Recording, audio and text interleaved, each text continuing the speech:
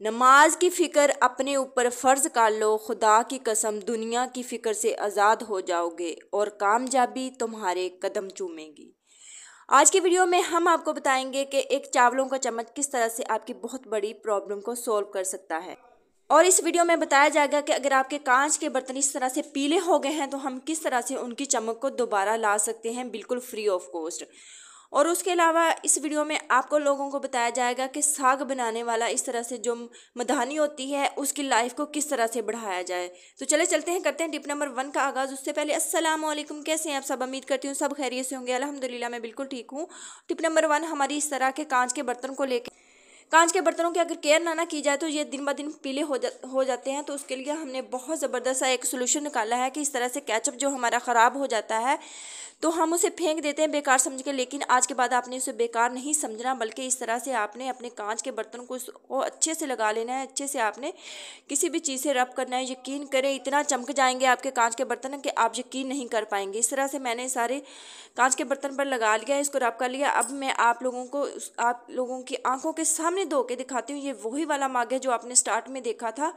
और आपके सामने मैंने इसके ऊपर कैचअप को रब किया और आपके सामने मैं इसको धो रही हूँ।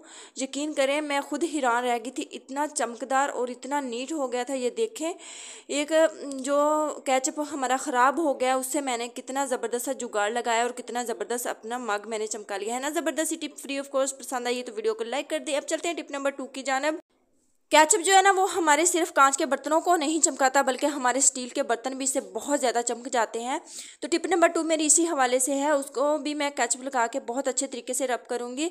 और ये देखें, मैंने इसको रब कर लिया, मैंने ज़्यादा लॉन्ग वीडियो नहीं बनाई, फिर वीडियो बहुत ज़्यादा लॉन्ग हो जाती है।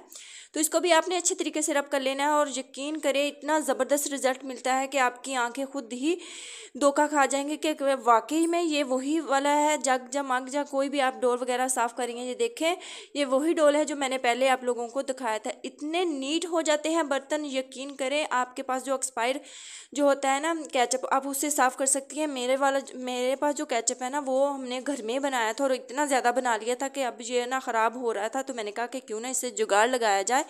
और ज़बरदस्त सा जुगाड़ है, अगर आपको पसंद आए तो प्लीज़ वीडियो को लाइक कर दे। अब चलते हैं टिप नंबर थ्री की जानब। ये बहुत ही कमाल की टिप है। सर्दियाँ स्टार्ट हुई नहीं तो हमारे घरों में साग जो है ना, बनना स्टार्ट हो भी गया है। तो इसलिए साग के लिए ज़रूरी है कि इस तरह का जो मदानी होती है ना वो हर घर में लाजम होती है।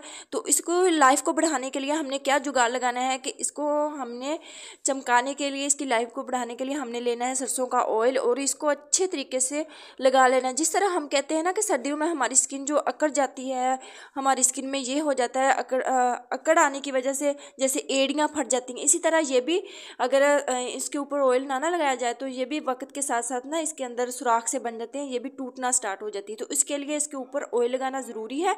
इससे इसकी लाइफ बढ़ेगी, जितनी देर साग बनता रहेगा, ये भी आपके साथ चलती रहेगी, है ना? ज़बरदस्ती टिप और फ्री ऑफ़ कॉस्ट अब चलते हैं टिप नंबर फोर की जानब। ये टिप तो मेरी बड़ी ही कमाल की, इसको फुल वॉच कीजिएगा। इस तरह का देसी लहसन तकरीबन सभी के घर में होता है और ये सेहत के लिए बहुत ज़्यादा अच्छा होता है। तो इसको छीलना बहुत ही डिफ़िकल्ट काम है, लेकिन आज आपकी बहन बहुत ज़बरदस्त सा जुगाड़ लेके आई है। आपने क्या करना है कि जब भी आपको लहसुन की ज़रूरत हो तो आपने इसको अच्छे तरीके से कलियों में डिवाइड कर लेना है, जैसा कि मैं कर रही हूँ। तो इसको अच्छे तरीके से इस तरह करने के बाद ये इसके जो छिलके होते हैं ना, ये हमने इसको कर देना है, इसे दूर। बिल्कुल इसको निकाल देना है छिलकों को, सिर्फ़ हमने क्या करना है, इसके जवे जो है ना, वो हमने, हमें चाहिए। जवों को आपने इस तरह से कोई भी आपके पास कंटेनर है, इसको अंदर डाल देना है।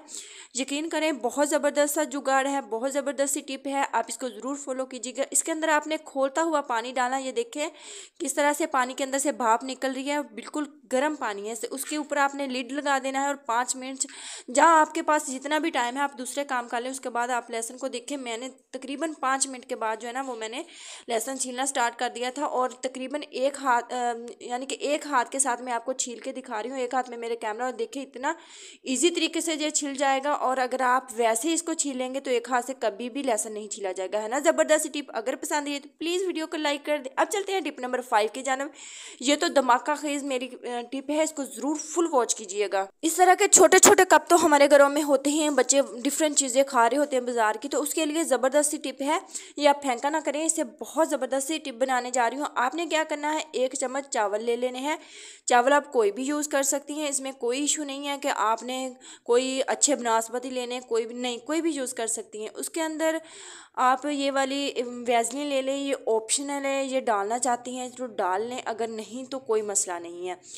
अगर आप इसको देर तक, यानी कि इसका फ़ायदा उठाना चाहती हैं तो फिर थोड़ी सी वैजलिन इसमें आप डाल सकती हैं। बहुत ज़बरदस्त ऑर्गेनाइज़र बना के दिखा रही हूँ और फ्री ऑफ़ कॉस्ट है, इसमें कोई पैसा नहीं आपका लगने वाला। सिर्फ़ किचन से हमने चावल लेने हैं और अपने, यानी कि हमने ड्रेसिंग टेबल से परफ्यूम और वेजलिन लेनी है। पर वेजलिन हमने मिला दी है, उसके अंदर आपने परफ्यूम डाल देना है।